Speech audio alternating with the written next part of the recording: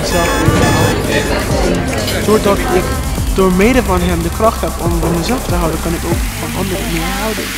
En daarom heb ik besloten om Jezus te volgen.